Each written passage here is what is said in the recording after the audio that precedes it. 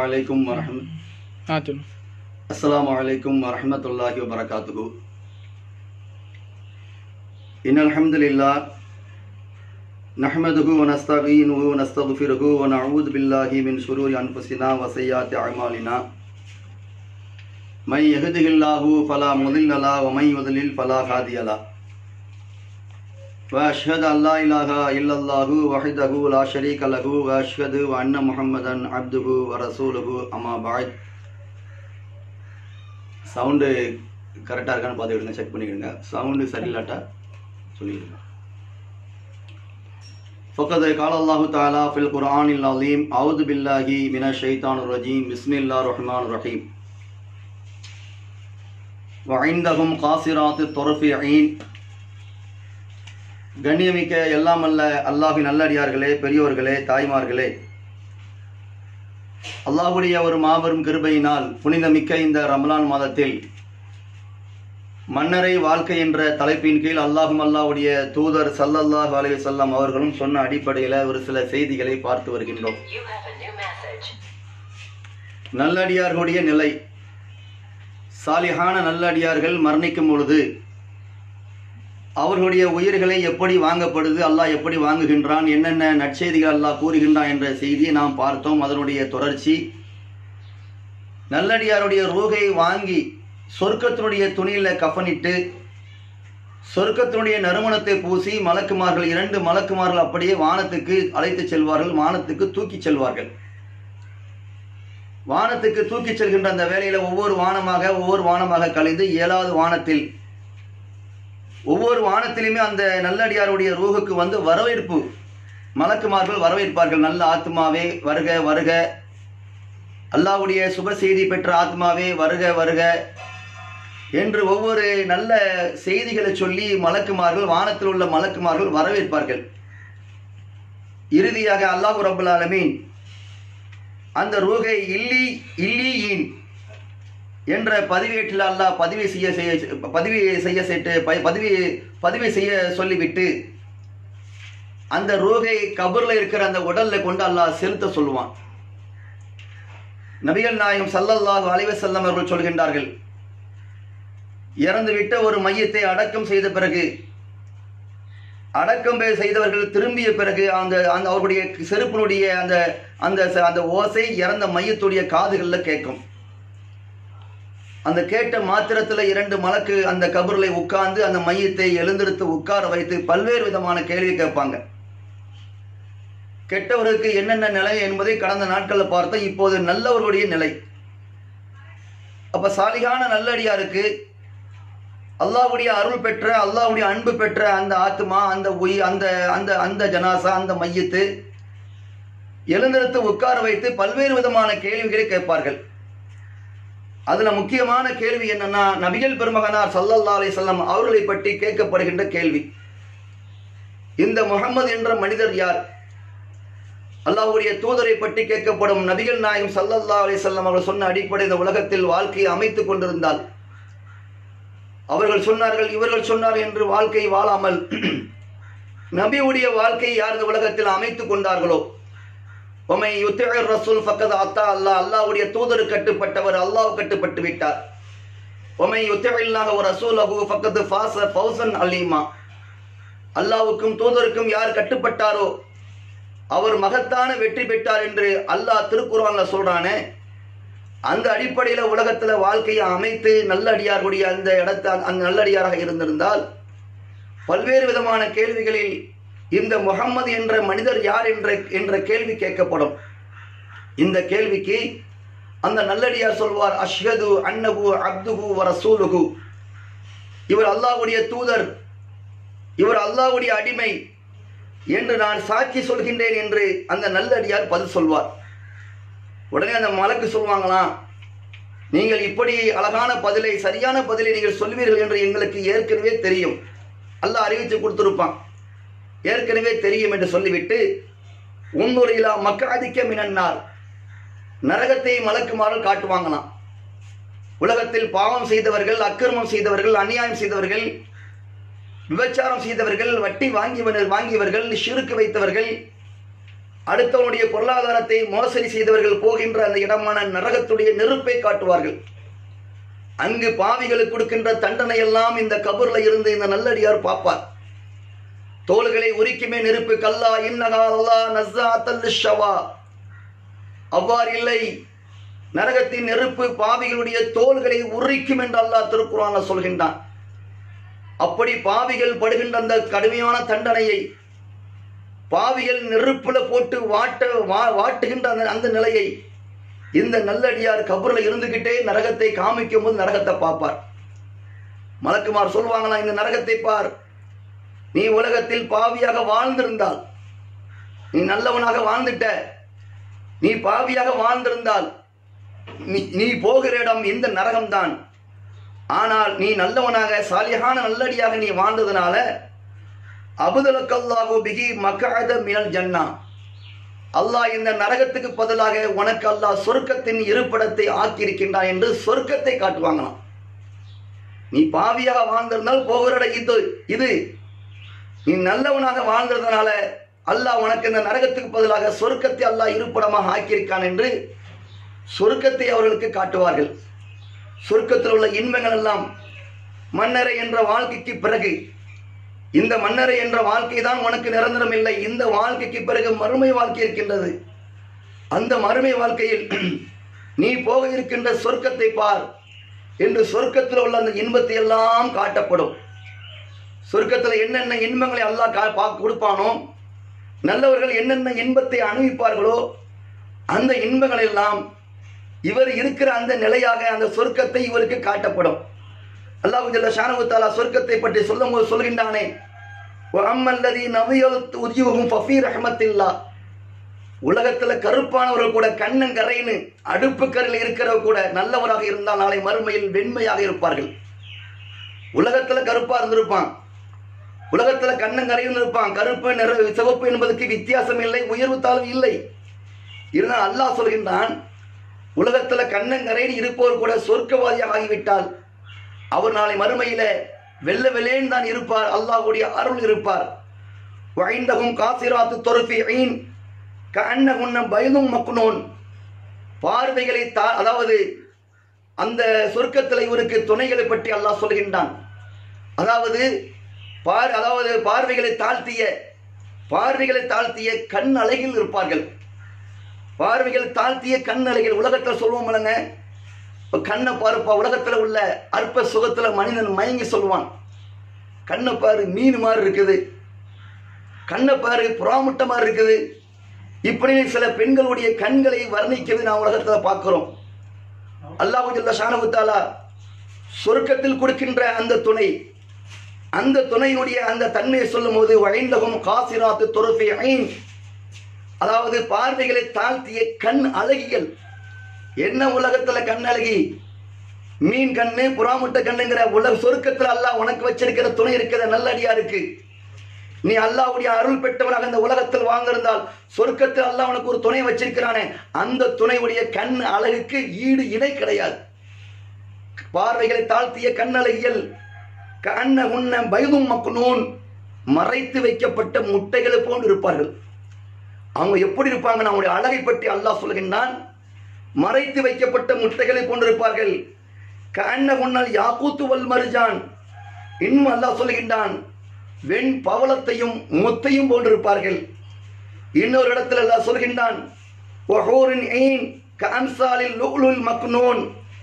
அவர்கள் எப்படி இருப்பாங்கன்னா மறைத்து வைக்கப்பட்ட முத்தை போன்றிருப்பார்கள். மறைத்து வைக்கப்பட்ட முட்டையை போன்றிருப்பார்கள். வெண் பவளத்தை வெண் போன்றிருப்பார்கள். அதே மாதிரி மறைத்து வைக்கப்பட்ட முத்தை போன்றிருப்பார்கள் என்று அல்லாஹ் ரபுல் ஆலமீன் திருக்குர்ஆன்ல சொர்க்கவாதிகளுக்கு அல்லாஹ் கொடுக்கின்ற நல்லடியார்களை பற்றி சொல்கின்றான். அதே மாதிரி அல்லாஹ் சொல்கின்றான் ஓ கவாஹிபா அத்ராபா சம வயதுடைய கட்டழகி. சவுண்டுங்க கேக்குது ஓ கவாயிப அத்ராபா. சம வயதுடைய கட்டளைகள் இருப்பார்கள். அல்லாஹ் கொடுக்கிற துணை எப்படின்னா சம வயதுல உள்ள அந்த கட்டளைகள் மறுமையில கொடுப்பான். நபிகள் பெருமகனார் சல்லல்லா அலைஹி அவர்கள் சொல்கின்றார்கள் சொர்க்கத்தை பற்றி சொல்லும்போது சொர்க்கத்துல ஒரு முத்தாலான ஒரு கூடாரம் இருக்குமா? சொர்க்கத்துல முத்தாலான ஒரு கூடாரம். அந்த கூடாரத்துல அல்லாஹ் ஜல்ல ஷானகுத்தாலா அந்த கூடாரத்தை உயரை பத்தி உயரத்தை பத்தி சொல்ல சொல்லும் போது அறுபது மைலுக்கு இருக்குமா? எங்க சொருக்கமே பெருசு. அந்த சொருக்கத்தில் ஒரு சின்ன கூடாரம் அதனுடைய உயரம் எவ்வளோன்னா அறுபது மைல் சுபஹானல்லா நினைச்சு பார்க்க முடியுமா உலகத்துல? எந்த ஒரு பில்டிங்காவது இந்த மாதிரி உயரத்துல சொல்ல முடியுமாங்க? எந்த ஒரு பில்டிங் பில்டிங் உலகத்திலேயே உயரமான பில்டிங் இரநூறு மாடி முந்நூறு மாடி கட்டுகின்ற பில்டிங்கை பார்க்க முடியும். அதுக்கு மேல இருக்காது. அதிகபட்சமா ஒரு இரநூத்தம்பது மாடி இருக்கும். மிஞ்சி மிஞ்சி போனால் ஒரு மைல் வருமா? அரை மைல் கூட வராது. ஆனால் சொருக்கத்தில் ஒரு சின்ன கூடாரம் கட்டப்பட்டது முழுக்க முழுக்க முத்து. அதனுடைய உயரம் அறுபது மைல். அதுக்குள்ளே இவர் சுற்றி பார்க்க போவாராம். ஒவ்வொரு மூலையிலும் ஒவ்வொரு துணைகள் இருப்பாங்க. ஒரு துணை இல்லையாம். ஒவ்வொரு மூலையும் ஆண் சொர்க்கவாதியாக இருந்தால் பெண் துணைகள். பெண் சொர்க்கவாதியாக இருந்தால் ஆண் துணைகள். ஒவ்வொரு மூலையிலும் ஒவ்வொரு துணைகள் இருப்பார்கள். அப்படியே கண்கொள்ளா காட்சிகளாக இருப்பார்கள். எப்படிப்பட்ட அழகு? கண்ணடைகள் மறைத்து வைக்கப்பட்ட முட்டையை போன்று வெண் பவளத்தை போன்று கண் அலைகள் த- சம வயதுடைய கட்டளைகள் என்று அல்லாஹ் வர்ணிக்கின்றான. அந்த வர்ணிப்போடு ஒவ்வொரு மூலையில் ஒவ்வொரு துணை இருப்பார்கள். இவர் பார்த்து கொண்டு ரசித்து கொண்டு அனுபவித்துக் கொண்டு போவார். ஒரு துணை இன்னொரு துணையை பார்க்க முடியாது. சொர்க்கத்தில் உள்ள சின்ன கூடாரத்துடைய இன்பத்தை பற்றி அல்லாஹு நபியல் பெருமகனார் சல்லல்லாஹ் அலேசம் சொல்கின்றார்கள். அப்படிப்பட்ட அந்த சொர்க்கத்தை தான் நல்லடியாராக கபூர்ல சுப செய்தி பெற்றாரே அவருக்கு மலக்கு காமிப்பாங்க அங்க பார். நீ இந்த மன்னரை வாழ்க்கைக்கு பிறகு நீ போகிற இடம் இந்த சொர்க்கம் இந்த சொர்க்கத்தில் உனக்கு கிடைக்கிற இன்பத்தை பாருப்பா. எப்படி இருக்குங்க? சொர்க்க மன்னரையில இருந்தே சொர்க்கத்தை காமிக்கும் போது உலகத்துல சொர்க்கத்துடைய வாழ்க்கையை பற்றி கேட்கும் போது நமக்கு அப்படி சுவாரஸ்யமா அப்படி இன்பமா இருக்கு. சுபஹான் அல்லாஹ் அல்லாஹ் அக்பர் அல்லாஹ் இந்த வாழ்க்கையை நமக்கு தரணுமே. நம்முடைய குடும்பத்தாருக்கு கொடுக்கணும். நம்முடைய பிள்ளைகளுக்கு கிடைக்கணும் என்று ஆசைப்படுறோம். இதை சொல்லும் போதே கேட்கும் போதே எவ்வளவு மகிழ்ச்சியா இருக்கு. அது நேருக்கு நேராக அந்த சொர்க்கத்துக்குள்ள போவதுக்கு முன்னால கபூர்ல இருந்தே காட்டும் போது கபூர்ல இருந்து பார்க்கும் போது என்ன தோணும்? யா அல்லா சீக்கிரமா என்ன சொர்க்கத்துல அனுப்பலாம் எவ்வளவு பெரிய இனிமம் சுபகான் அல்லா என்று எண்ணுகின்ற அளவுக்கு அல்லாஹ் ஜல்ல ஷானஹு அந்த சொர்க்கத்துடைய இன்பங்களை இந்த மண்ணறையில் உள்ள நல்லடியாருக்கு காட்டப்படும் என்று நபிகள் பெருமகனார் செல்லல்லா வளைய செல்லம் அவர்கள் சொல்கின்றார்கள். அதே மாதிரி இப்படிப்பட்ட சுப செய்தியை பெற்றவுடனே அந்த சொர்க்கவாதி என்ன செய்வார்னா மலக்குமார்ட்ட சொல்வாராம் என்ன செய்வாராம் மலக்குமார்ட்ட சொல்வார் அர்ஜிஓ ஓயில அகிலி இருக்கும் என்ன கொஞ்சம் விடுங்க உலகத்தில். எனக்கு இப்படிப்பட்ட நற்செய்தி கிடைச்சதை. இப்படிப்பட்ட இன்பகரமான வாழ்க்கை கிடைத்ததை. நான் என் குடும்பத்திட்ட போய் சொல்லிட்டு வரேன். எங்கள் அம்மாட்ட சொல்லிட்டு வரேன் எங்கள் அத்தாட்ட சொல்லிட்டு வரேன். என் பிள்ளைகிட்ட சொல்லிட்டு வரேன். மறுமையுடைய வாழ்க்கை என்ன ஆனது என்று கவலையில் இருப்பாங்க. என்ன நான் இந்த உலகத்தை விட்டு பிரிஞ்சவன் உலகத்தை விட்டு பிரிஞ்ச அழுதுருப்பாங்க. மன்னரையில் என் வாப்பாவுக்கு என்ன நிலையோ என்று பதறி கொண்டிருப்பாங்களே அவங்ககிட்ட போய் நான் என்ன செய்கிறேன் போய் சொல்லிட்டு வந்துடுதேன் அல்லாஹ் எனக்கு இன்பகரமான வாழ்க்கையை தந்துட்டான். மகிழ்ச்சியான வாழ்க்கையை கொடுத்துட்டான் அப்படிங்கிற செய்தியை சொல்லிட்டு வரேன்னு அனுமதி கேட்பாராம். மலக்குமார் அனுமதி கொடுக்க மாட்டாங்க. ம் முடியாது. நீ தூங்கு. எப்படி தூங்கணும் தெரியுமா? புது மாப்பிள்ளை எப்படி தூங்குவாரோ அந்த மாதிரி நீ இந்த கபரில் தூங்கு. உன்னுடைய உனக்கு ரொம்ப ரொம்ப நெருக்கமானவரை தவிர எழுப்ப முடியாத அளவுக்கு எப்படி புது மாப்பிள்ளை தூங்குவாரோ அந்த மாதிரி புது மாப்பிள்ளை தூங்குவது போன்று நிம்மதியாக தூங்கு என்று மலக்குமார்களாம் மலக்கு அறிவிப்பாங்களாம். எழுபதுக்கு எழுபது மூலம். இன்னொரு செய்தியில் வருது கண்ணுக்கு எட்டிய தொலைவில் கண்ணுக்கு எட்டிய தொலை தூரம் அந்த கபர் அப்படியே விசாலமாக்கப்படும். அல்லாஹுடைய தூதர் சொல்கின்றார்கள் சின்ன கபருங்க ஒரு ஆள் படுக்கிற மாதிரி தோண்டியிருப்போம் அந்த கபர் பாவிகளுக்கு நெருக்கடியை உண்டாக்கும். அக்கிரமக்காரனுக்கு அப்படியே ஒரு பக்கம் விழா எலும்பு இன்னொரு விழா எலும்பை அப்படி நெருக்கிற தன்மையை கொடுக்கும். ஆனால் நபிகள் பெருமகனார் சல்லல்லா அலைஹி சொல்கின்றார்கள் நல்லடியாருக்கு அந்த கபர் எப்படி விசாலமாக்கப்படும்னா கண்ணுக்கு எட்டிய தொலை தூரம் அந்த கபர் அப்படியே விசாலமாக்கப்படும். புது மாப்பிள்ளையை போன்று தூங்கு என்று மலக்குமார்கள் அறிவிப்பார்கள் என்ற செய்தியை நபிகள் பெருமகனார் சல்லல்லா அலைஹி அவர்கள் சொல்லித் தருகின்றார்கள். அன்பான தாய்மார்களே இப்படிப்பட்ட நட்பாக்கியம் உள்ள இந்த சொர்க்க வாழ்க்கை இந்த மன்னரை வாழ்க்கை இன்பகரமான இந்த மன்னரையின் மகிழ்ச்சி வாழ்க்கை அல்லாஹ் ரபுல் ஆலமீன் நமக்கெல்லாம் தந்துள்ள வேண்டும். சா சாதாரணமாக பெற முடியுமா இதை? இப்படிப்பட்ட சுப செய்தியை இலகுவாக பெற முடியாது. அல்லாஹ் திருக்குறான் என்ன சொல்கிறான் அம் ஹசிபத்தும் அன் ததகுலல் ஜன்னத்தை வலம்மா எழுத்திக்கும் வலம்மா எழுத்திக்கும் மசலுள்ளதின ஹலவு மின் கபலிக்கும். நீங்கள் இலகுவாக சொருக்கம் போக நினைக்கிறீங்களா? உங்களுக்கு முன் சென்ற சமுதாயம் பட்ட சிரமத்தை போன்று கஷ்டத்தை போன்று நீங்கள் படாமல் நீங்கள் இலகுவாக சொர்க்கத்துக்கு போக நினைச்சீங்களா? மசத்துக்கு முன் பாய்சா வல்லர்ராவ் அவர்களுக்கு வறுமையும் கஷ்டமும் வறுமையும் கஷ்டமும் அவர்களுக்கு வந்தது.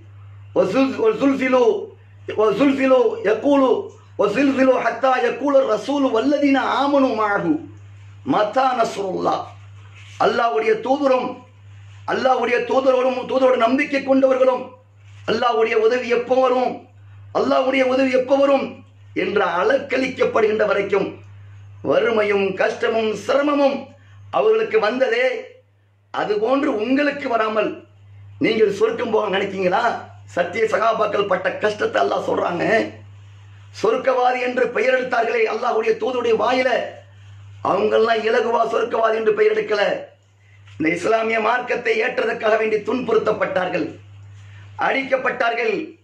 லா இலாஹா இல்லல்லா முகமது ரசூலுல்லா என்ற களிமா சொன்னதுக்காக வேண்டி ஊர் நீக்கம் செய்யப்பட்டார்கள்.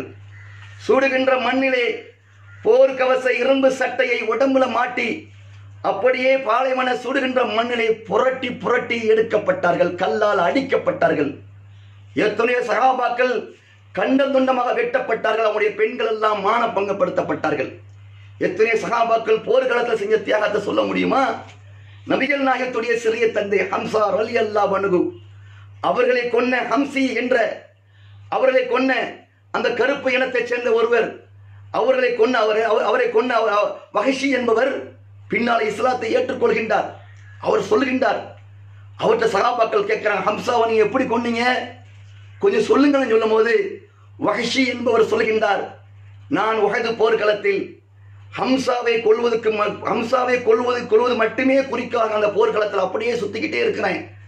ஏன்னா என் எஜமான் சொன்னான் ஹம்சாவை நீ கொன்னால் உன்னை விடுதலை செய்கின்றேன் என்று.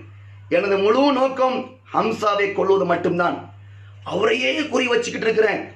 அவர் போர்க்களத்தில் பயங்கரமாக சண்டையிடுகின்றார் எதிரிகளை கொள்கின்றார் என்னை கவனிக்காத அவர் நான் ஒரு பாறைக்கு அடியில் ஒளிந்து கிடக்கின்றேன். என்னை எதிர்நோக்கி நான் ஒளிந்து கிடப்பதை கவனிக்காமல் என்னை எதிர்நோக்கி வருகின்றார். நான் பாறையில் ஒளிந்து கிடந்த நான் எழுந்திருத்து கூர்மையான ஈட்டியை ஹம்சாவை நோக்கி எறிந்தேன். எரிந்த ஈட்டி ஹம்சாவுடைய முன் துவாரத்தில் குத்தி பின் துவாரம் பித்தட்டு வழியாக வெளியே வந்தது. அந்த இடத்திலேயே அவர் இறந்து விட்டார். எப்படிப்பட்ட மரணம் பாருங்க. வீசின ஈட்டி முன்பகுதி முன் துவாரத்தில் குத்தி மனிதனுடைய அந்த மர்ம உறுப்பில் குத்தி பின் துவாரத்தில் வழியாக பிளந்து கொண்டு வருகிறது. அப்படியே அவர் ச- மரணத்தில் சாய்கின்றார் என்று ஹம்சார் அலி அல்லாஹ் அனுபவ நபிகள் நாயகத்துடைய சிறிய தந்தையை குன்றார வகிஷி இஸ்லாத்தை ஏற்ற பிறகு பின்னால் இந்த செய்தியை சொல்கின்றார். அல்லாஹுடைய மறுமை என்ற வாழ்க்கைக்கு இப்படிப்பட்ட தியாகம். உகது போர்களுக்கு அதே உகது சகா மக்கள் எல்லாம் சிதறி சித- சிதறடிக்கிற பிறகு சிதறடிக்கப்படுகின்றார்கள். நபிகள் நாயம் மட்டும் தனித்து விடப்படுகின்றார்கள். எதிரிகள் எல்லாம் அல்லாவுடைய தூதரை சூழ்ந்து கொள்கின்றார்கள்.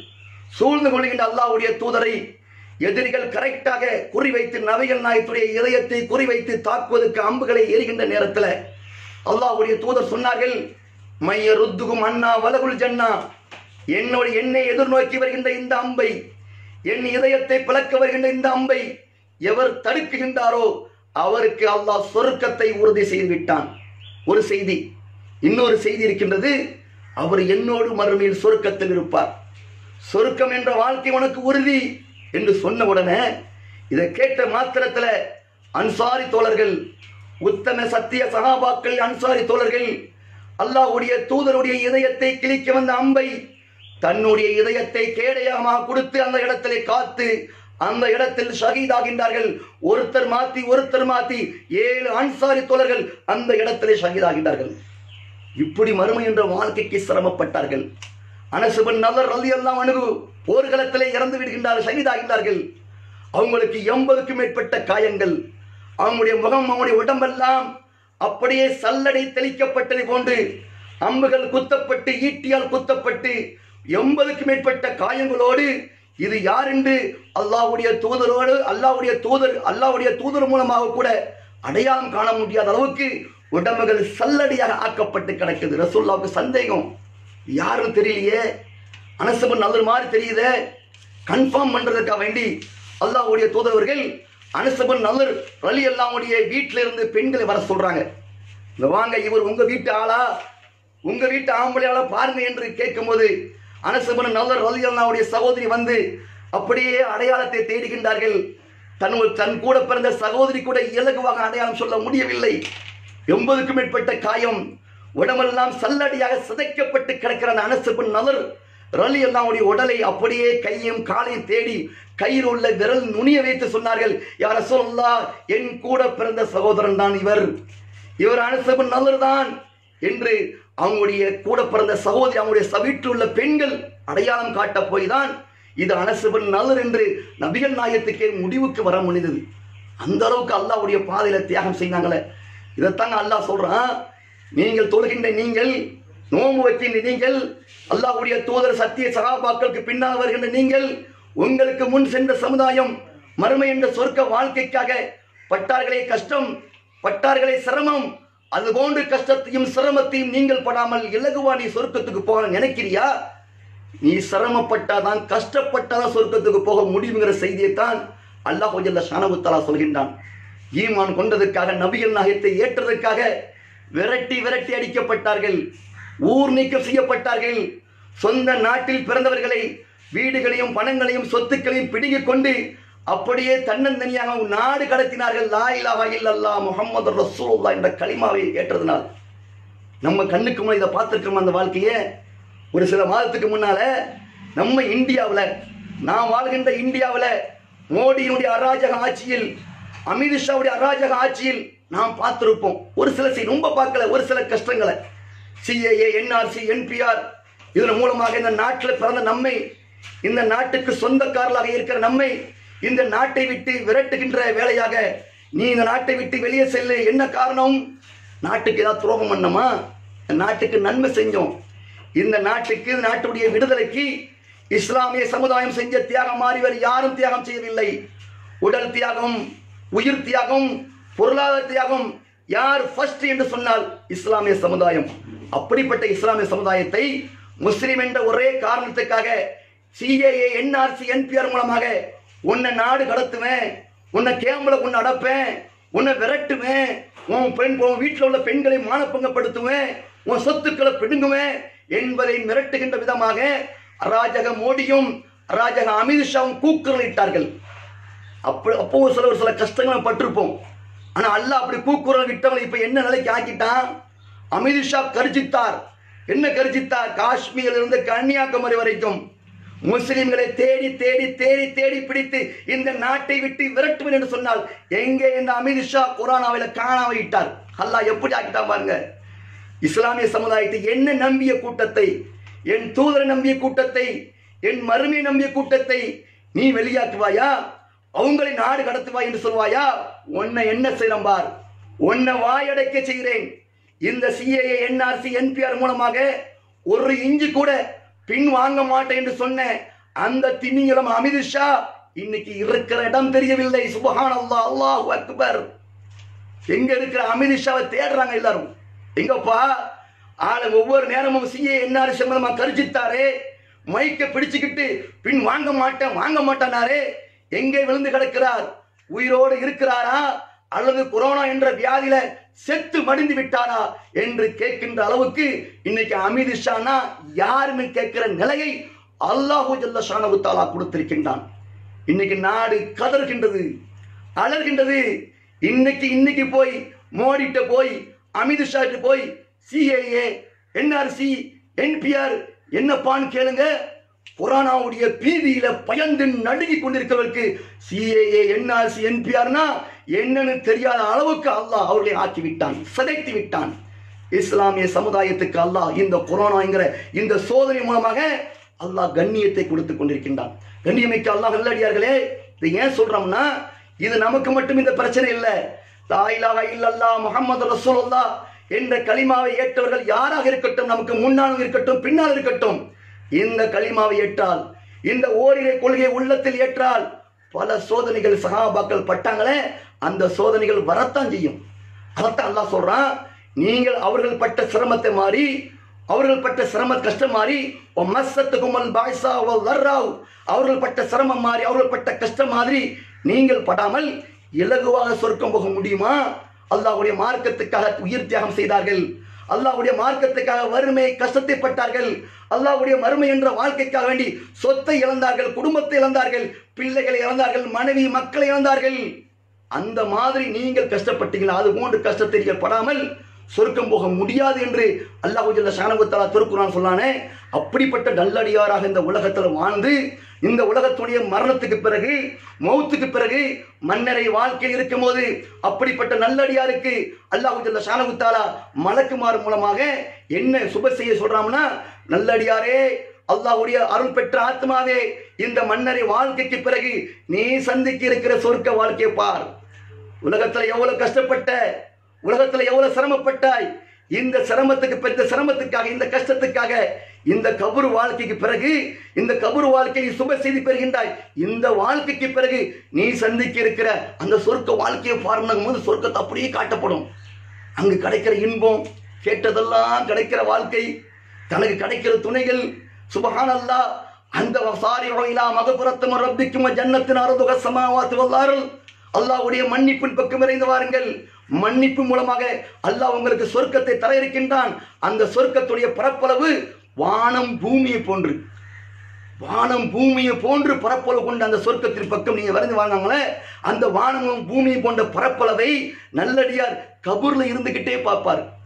அங்கே சிறுவர்கள் உபசரிப்பது கண்ணலைகள் கட்டளைகள் சம வயது உடைய அந்த மறைத்து வைக்கப்பட்ட முட்டைகளை போன்று முத்துக்களை போன்று பவளத்திலை போன்று இருக்கிற அவர்களெல்லாம் அவர்களோடு இவர் உல்லாசமாக சந்தோஷமாக இருக்கிற காட்சிகள் எல்லாம் அந்த கிளுகிழுப்பான காட்சிகள் எல்லாம் மன்னரில் இருந்துகிட்டே நல்லடியார் பார்ப்பார். சுபஹான் அல்லாஹ் கண்ணியமிக்க அல்லாஹ் நல்லடியார்களே அல்லாஹுடைய அருள் நிறைந்த ரம்ரான் மலத்தில் இந்த செய்தியை கேட்கிற நம்ம இப்படிப்பட்ட அற்புதமான வாழ்க்கையை இப்படிப்பட்ட மகிழ்ச்சியான வாழ்க்கையை அல்லாஹ் நமக்கெல்லாம் தர வேண்டும். அப்படி தருவதற்குண்டான வாழ்க்கையை நாம் நமக்கு அல்லாஹ் அமைத்து கொடுக்க வேண்டும். அதற்குத்தான் இந்த மன்னரை வாழ்க்கை என்ற தலைப்பில் பல நாட்கள் தொடர்ச்சியாக அருள்மிக்க இந்த ரமலான் மாதத்தில் தமிழ்நாடு தௌகி ஜமாத்துடைய முகநூல் வாயிலாக தௌகி ஜமாத்துடைய ஏற்பாட்டில் மக்களுக்கு மன்னரை சிந்தனை கொடுக்க வேண்டும் மரணத்தின் பயத்தை கொடுக்க வேண்டும். அதன் மூலமாக மக்கள் இரையச்சத்தோடு இந்த உலகத்தில் வாழ வேண்டும் என்ற ஒரு நல்ல இடத்துல தமிழ்நாடு தௌகி ஜமாத் ஏற்பாடு செய்யப்பட்ட இந்த நிகழ்ச்சியில் நாமெல்லாம் இருந்துகிட்டு இருக்கிறோம். அதே மாதிரி கபூரில் நடக்கிற இன்னொரு செய்தி என்னன்னா நபிகள் பெருமகனார் சல்லல்லாஸ் அவர்கள் இன்னொரு செய்தியை சொல்றாங்க. மண்ணறையில் கபூரில் நல்லடியாராக இருந்தால் அவர் பக்கத்தில் ஒரு மனிதர் வந்து உட்காருவாராம். அந்த மனிதர் முகம் வந்து அப்படியே அழகா இருக்குமா? புத்தாடை உடுத்திருப்பாராம். கப கப கபான்னு நறுமணத்தை பூசியிருப்பாராம். இங்க மன்னரை தனி அறை. யாருமே கூட இருக்க மாட்டாங்க. ஆனா கூட வந்து ஒரு மனிதர் வந்து இருப்பார். அவர் பார்க்கறதுக்கு எப்படி இருப்பார்? முகம் பிரகாசமாக. கவர்ச்சியாக புத்தாடை உடுத்திருப்பார். நறுமணம் பூசியிருப்பார். கபகப நறுமணம் வீசும்.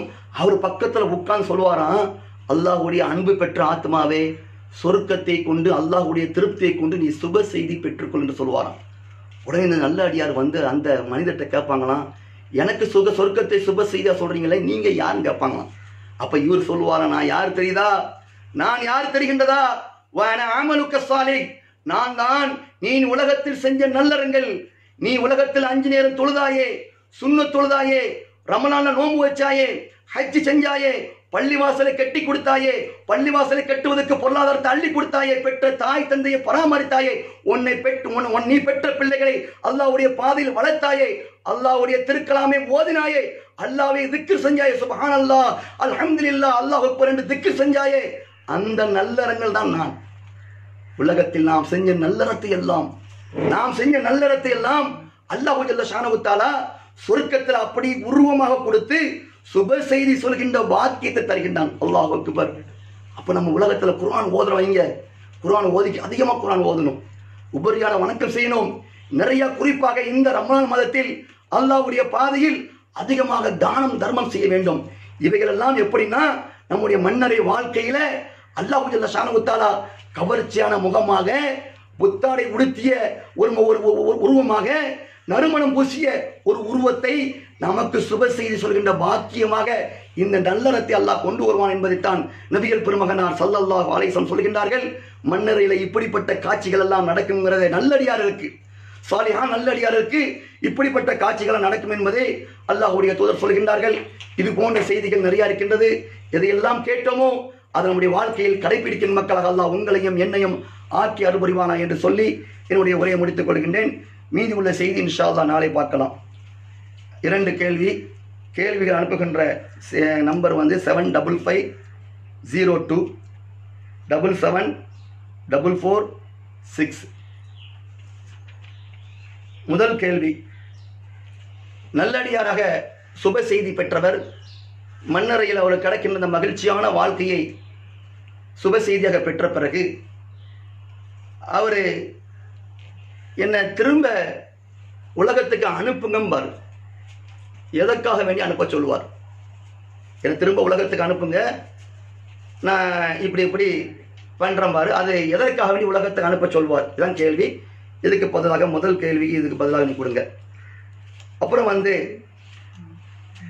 நல்லடியாருடைய ரூகை சொர்க்கத்துடைய துணியில் கஃபன் செய்யப்பட்டு வானத்துக்கு கொண்டு செல்லப்படும். ஒவ்வொரு வானத்திலையும் அவங்களுக்கு வரவேற்பு இருக்கும். கடைசியாக மேல் வானம் திறக்கப்படும். அல்லாஹ் அந்த ரூகை பற்றி உனக்கு ஒரு அறிவிப்பை செய்வான். இதை இங்கே கொண்டு அறிவிப்பு பதிவு செய்யம்மா அது எங்கே கொண்டு அல்லாஹ் பதிவு பண்ண ப- பதிவு பண்ண சொல்கிறான் அதனுடைய பெயர் என்ன? இதான் இரண்டாவது கேள்வி. இந்த கேள்விக்கு நீங்கள் பதில் தெரிஞ்சவங்க உடனே அந்த நம்பருக்கு என்ன செய்யுங்க? நீங்கள் வாட்ஸ்அப்பில் எஸ்எம்எஸ் அனுப்புங்க. அஸ்லாம் அலைக்கும்.